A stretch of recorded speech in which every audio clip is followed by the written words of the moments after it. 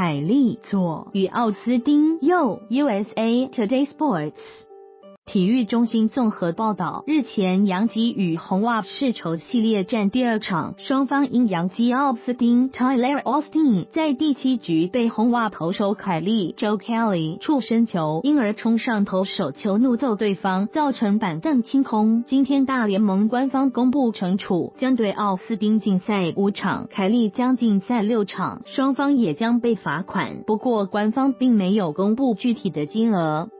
当天比赛，奥斯丁先是一次滑垒，被认为有恶意铲人嫌疑，双方起口角，造成板凳清空。而在第七局，奥斯丁打击时被红袜投手凯利九十八英里火球砸中，引发第二波冲突。虽然赛后凯利表示自己并不是故意的，不过也没有否认当时有对奥斯丁挑衅喊 “Come on”。